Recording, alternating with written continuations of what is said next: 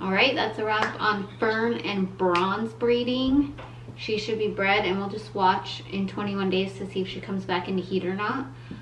But that is a breeding I'm really excited to see is Fern and Bronze. Fern has our best udder, our largest teats, our most milk production. So I'm just really excited to see some does from her. The last one we have left to breed is Mavis and she'll be with Smokey and that'll be it for our breeding season. So she should be up next to be bred. Just watching her to see when she comes into heat and then we'll put her with Smokey. Walk me in the morning sun. Tell me I'm a lucky one. I'm riding on the wave of a notion that I could be brave. Is there anything good on the radio? Turn it up loud and let me know how it used to be before anyone heard of you and me.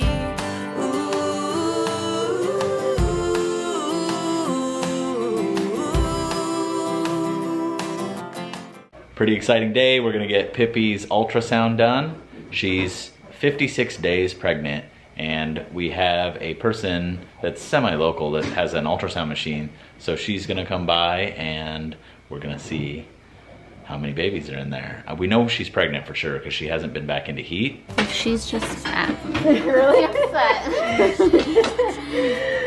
honestly, probably I didn't see her go back into heat though. She's pretty vocal. Oh, there I see something.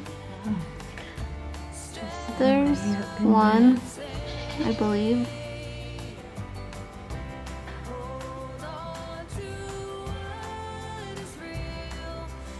That looks like one. One, two. There it is wiggling right, right here. Mm-hmm. But over on the right hand, every once in a while, you see the other one show up. Over See here. right up there on the top, yep. Oh, right there. Two for sure then. All right, guys, it's our second to last milk test on Fern. Second to last milk test on Fern, and we're just trying to just barely squeeze by. So she's been bred, and we got, uh, like I said, two milk tests left to go. So hopefully her production just holds on long enough to where she can get that star. Uh, I mean, it's brutal. If we weren't on milk test, we probably would have stopped milking a long time ago.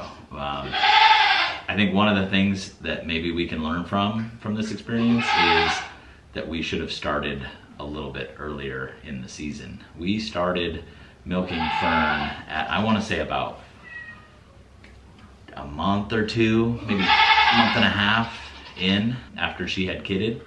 And so if we had started a month a month earlier, our, our milk test would shift uh, because their production is quite a bit when they first kid. And you know that's it. That's every breeder's goal really is to you know breed the best goat that they can breed and produce the best dairy goat that's gonna win at the shows.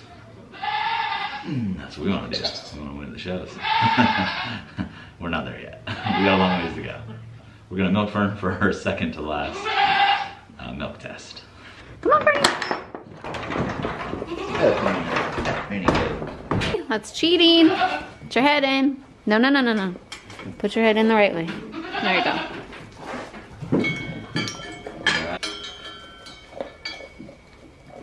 excited to see how much production she'll have since we've been kind of monitoring it a little bit. We'll see.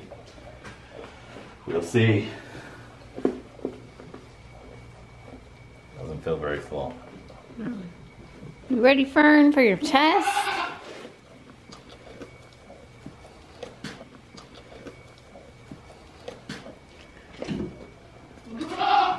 So Fern was bred on what day? October 2nd, and then she short cycled, so she went into heat again on October 7th. So she was rebred again on the 7th.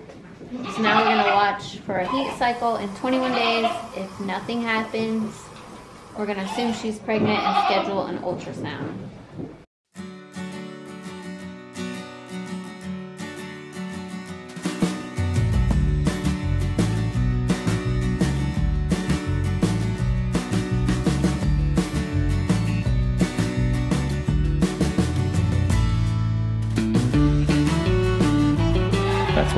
Get our Milk Star.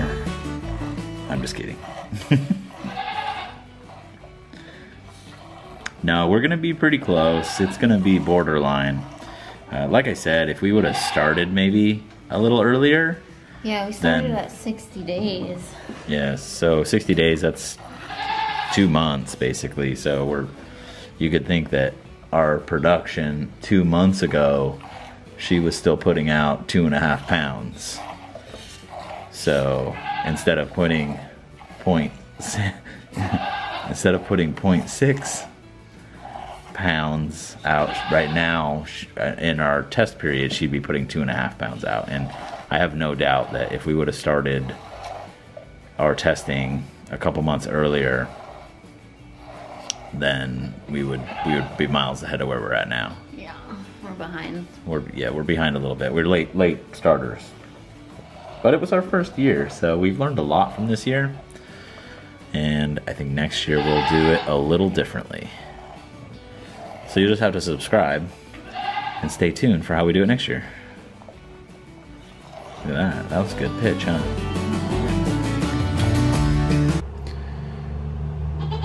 On today's episode of Pippy Don't Play, see who Pippy's picking on in the meantime here. Gertie, We got another bed. They really love these beds. So we got another one of those. Pippy. Pippy. She doesn't pick on Dottie. She thinks, yeah, she thinks Dottie's her baby.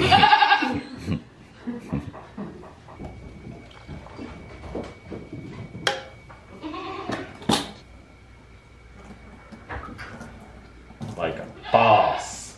Oh, yeah. Totally missed. Look at how much I got in there.